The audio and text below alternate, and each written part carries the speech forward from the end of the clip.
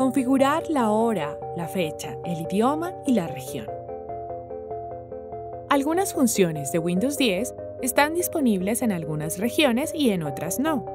Si quieres usar algunas herramientas que no están disponibles en el lugar donde te encuentras, puedes cambiar de región fácilmente.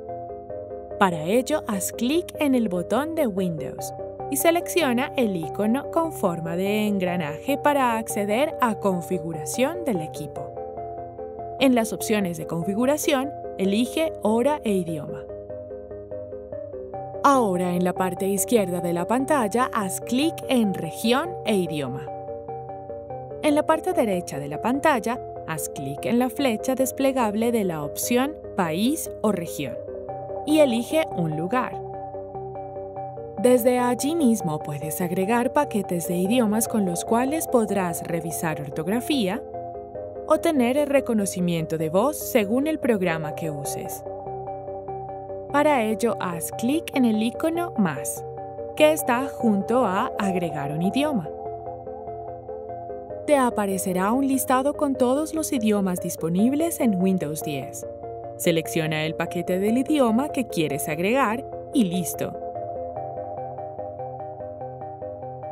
¿Cómo cambiar la hora y la fecha? La fecha y la hora se ajustan automáticamente según la zona horaria donde te encuentres. Sin embargo, no es necesario tener configurada la misma zona horaria y región. Desde la ventana Hora e Idioma de la aplicación Configuración, haz clic sobre la pestaña Fecha y Hora, ubicada en la parte izquierda de la ventana. Allí selecciona la opción Zona horaria y elige una en el listado que se despliega. Síguenos en nuestras redes sociales para conocer mucho más sobre el funcionamiento de Windows 10.